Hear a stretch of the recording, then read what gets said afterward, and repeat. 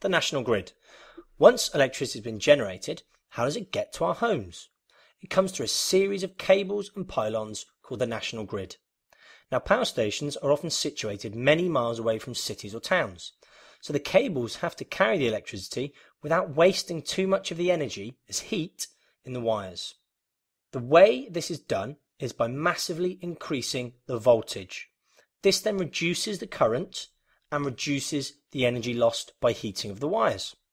In order to increase the current, we use a step-up transformer, and this increases the voltage from about 25,000 volts from the power station up to 132,000 volts in the power cables.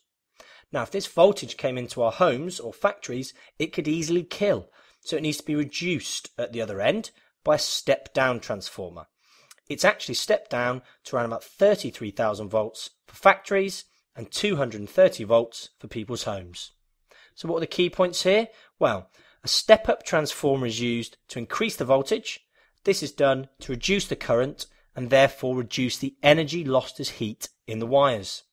A step down transformer then reduces the voltage back down to a safe level.